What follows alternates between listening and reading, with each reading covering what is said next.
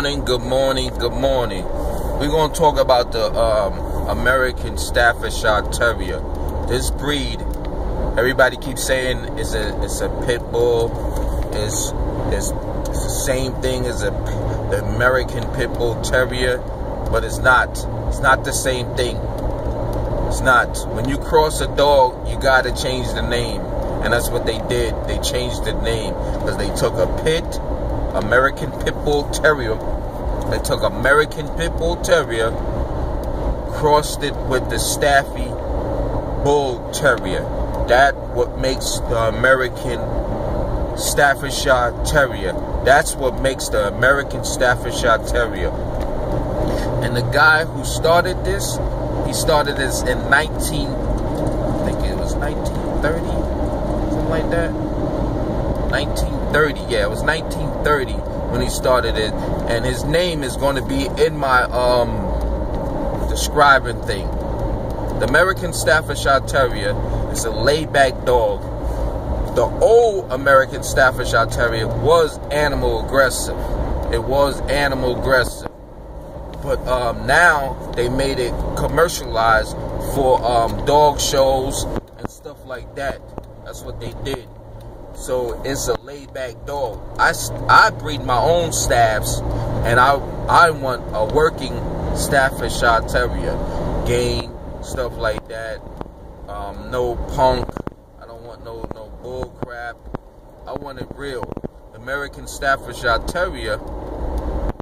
It can work but it is a laid back dog and it's supposed to be, you know, um, friendly to other animals and, and stuff like that these days of the American Staffordshire Terrier.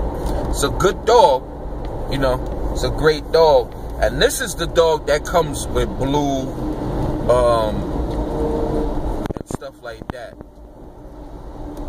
This is the only American Staffordshire Terrier. It's another breed, but we're gonna get into that also. But um, this is what what I learned and did my research with when I spoke to this old man. This man is old, and his wife.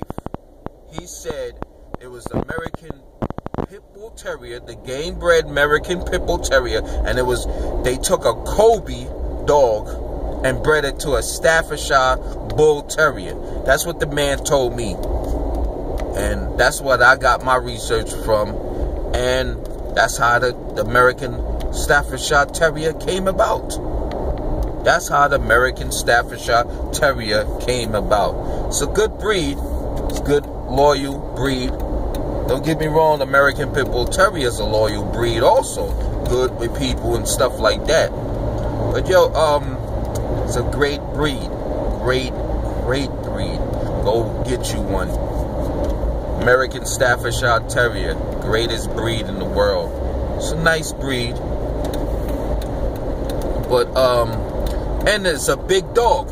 Big boned, big feet, stuff like that. Nice head.